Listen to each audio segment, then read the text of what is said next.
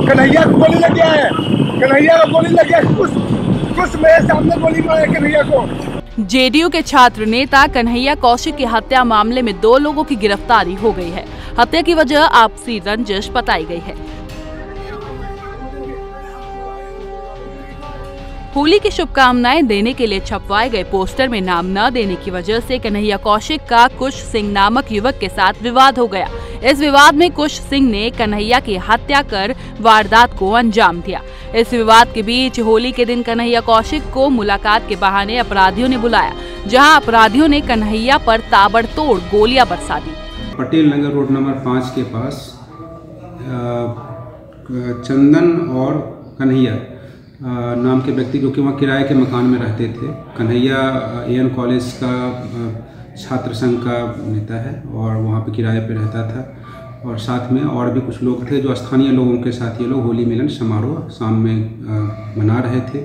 उसी क्रम में दो व्यक्ति वहाँ पर आए जो कि वो भी वहाँ रह, रहते रहे हैं किराए पर पूर्व से उन लोगों के परिचित थे और उन लोगों के द्वारा ऐतराज़ किया गया कि जो पोस्टर बनाया गया है होली मिलन समारोह का उसमें इनका उन, उन दोनों का क्यों नहीं उसमें पोस्टर में नाम और फोटोग्राफ्स है। और इसी बात को लेकर लड़ाई झगड़ा होने के उपरांत कन्हैया कुमार को उन दोनों व्यक्ति के द्वारा मारपीट किया गया, गाली गलौज किया गया और मारपीट करने के बाद वो लोग दोनों वहाँ से भाग गए।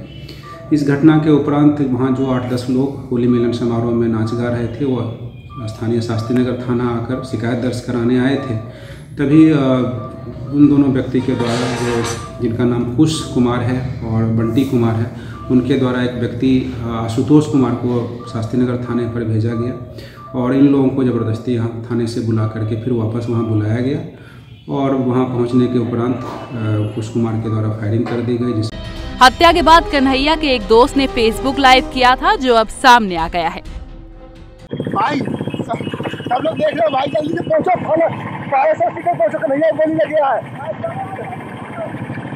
बारह सौ सीटर पहुंचो कन्हैया गोली लग गया है।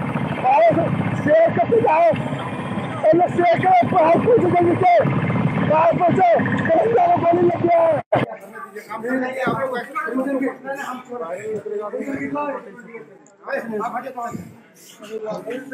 हॉस्पिटल में आया है? लेकिन यहाँ चंदन कोई आइस कोई कोई लगा आइस कोई लगा है। आप ठीक हो ठीक हो बाबू। अरे ठीक हो। इसको पकड़ इसको लाइव रखो। अरे उसका भैया ठीक है। नहीं कन्हैया ठीक है कन्हैया ठीक है बच गया। रख के मोबाइल रख अरे कन्हैया ठीक है। मोबाइल कन्हैया ठीक है।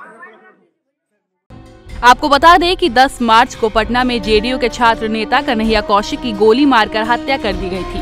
होली के दिन कन्हैया कौशिक को पटेल नगर में पाँच गोली मारी गई। कन्हैया पटना के एएन कॉलेज में केमिस्ट्री ऑनर्स का छात्र था और टॉपर भी रह चुका है। पढ़ाई के साथ साथ छात्र राजनीति में भी वो जुड़ा था। कन्हैया छात्र संगठन में कॉलेज का उपाध्यक्ष था और छात्र जेडीयू का पूर्व प्रदेश महासचिव रह चुका था। News desk.